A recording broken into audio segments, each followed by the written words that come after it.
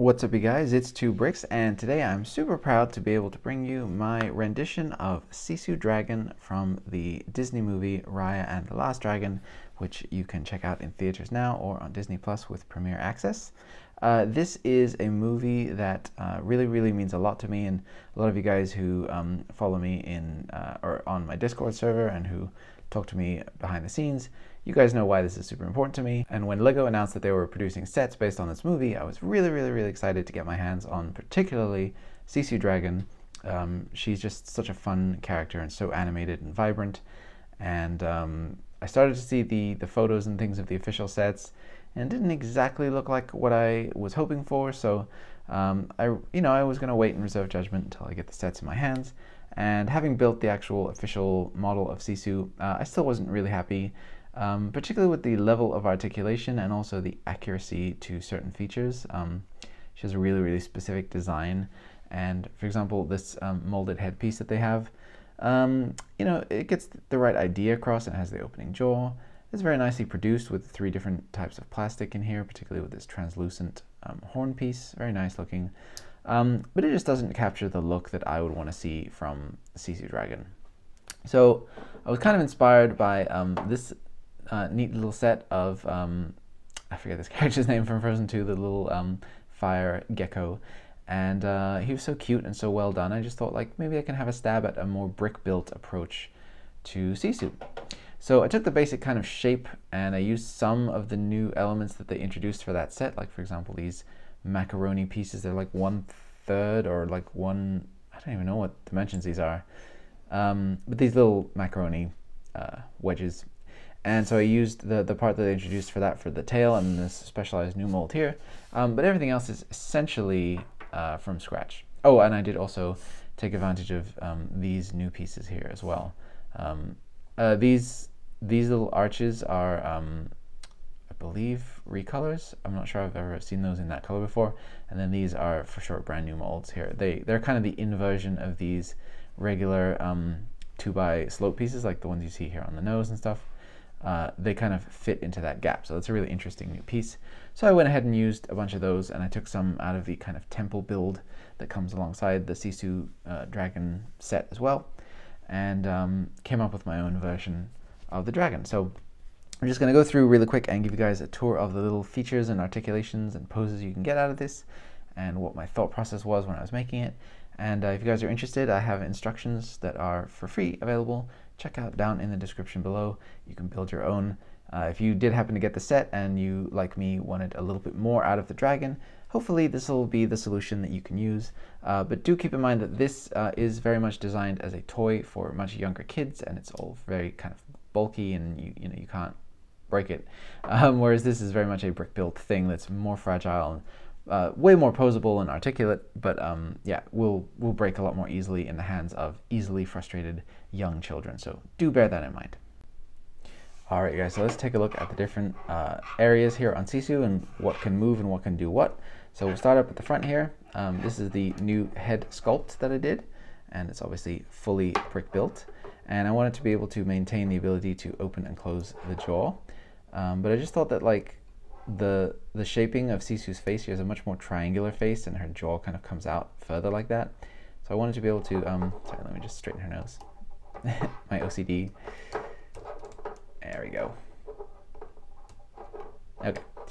Um, yeah, she has a much more triangular face and I really wanted to be able to capture that and I still wanted to maintain the horn and I kept some uh, translucent elements in there to just kind of keep the magic, the glowing elements of her uh, horn intact. Um, I give her these big sparkly eyes because Sisu is a very innocent and very happy and uh, hopeful character and very naive. So I think those big kind of um, watery eyes there just kind of scream that cuteness that you want to get out of um, her face. She has this nice mane of hair that comes down into her neck. The one on the official LEGO set tried to kind of give that idea by having this curl around to the side, but um, it wasn't really able to bring any of that down into the, the neck part. So I decided to do that there. Uh, it does have a ball joint for the neck, just uh, gives you a full kind of degree of motion there. You can kind of raise it up and down. And uh, the neck as well is on a ball joint, so you can really extend her neck out. You can rotate her neck all the way around so she can look at, you know, look behind her. Um, so I really like that. You know, the the problem with the ball joints is that um, depending on the piece you have, and over time the ball joints can get a little bit worn out with all of this weight on top. Um, so what I like to do is when I'm when I have this posed and it's just static on the desk, I like to put the neck uh, in this kind of more back position so that it's kind of supported by the body and then just let the chin naturally come to rest there. So, so there's not um, kind of tension on these ball joints when it's not being used. Uh, so throughout her body here, I used some accents of the teal color, and uh, I thought teal kind of mirrored the the mythical status of the dragons uh, in the movie because they it was once everywhere, and then now. um, for a long period of time, teal was basically an extinct color, and now it's back. So uh, I think that kind of is a cool nod to the, the movie, and also it's a nice color. So I think it really goes with Sisu and gives her that nice striping that she has down her body there, and nice kind of like detailing that she has all throughout her torso. I used the uh, bright, I believe this is the light bright spring green, I think is the name of this color, um, which they did sprinkle throughout on the official set as well. Um, I just kept those elements because she has like that, that nice bright underbelly, um, so I wanted to carry that through. She has a single degree of motion here on the middle of the spine with just, you know, the clip and bar pieces, and then a ball joint here for the back of the hips so she can get nice dynamic poses um, where she's, you know, leaning forward, looking forward, and then her, you know, you kind of maintain the curve going down through her body there. So that's cool.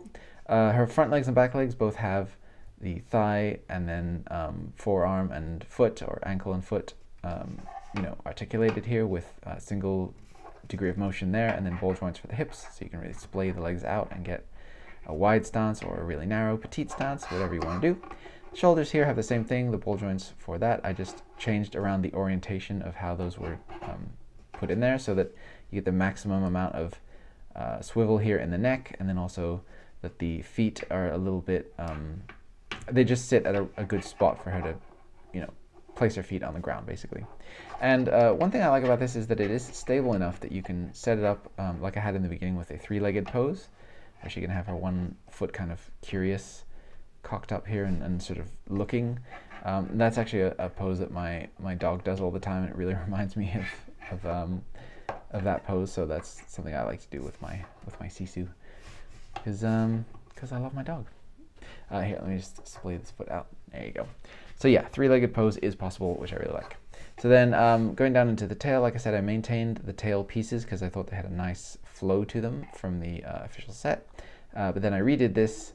Um, the officials that use this kind of foil um, vinyl element with the gold on the back, which uh, I'm never a huge fan of these kinds of things that are supposed to represent like character stuff. They use these a lot to, to do things like boat sails or um, you know, like a fancy uh, awning or something that you see on, on the front of a building. And I think that's fine. But for an actual piece of a living character, the fact that it's fully two dimensional uh, doesn't really do it for me. That's just my personal preference. Um, so I decided to build her an articulatable tail here. So she has the, the large fin and the small fin. And then those can, um, those can go in and out because they're on these, um, they're on these fairly specialized rounded um, bar pieces here. So yeah, that gives you a little bit of extra flexibility there. And then the tail is fully on a ball joint and you can just, you know, go ahead and pose that however you like. So uh, it is obviously a lot heavier than the, uh, the little tail vinyl piece there. So the tail does want to, if you have it like in a sideways position like this, over time it will want to make its way down to the ground. So that's just something that you can just either pose it straight up and it should stay, or you can pose it, you know, where it's down on the ground um, whatever, it's up to you. But um, but yeah, I really like I really like the flow that you can get through this whole body that goes all the way down. Like you can really feel like the running on on the raindrops that you can see. That's in the trailer. It's not a spoiler, but the dragons in this movie run on on rain, and uh, I just really wanted to be able to capture that feeling in this model too, or at least you know, getting a little bit of a nice uh, flowing pose down through the through the body too to capture that.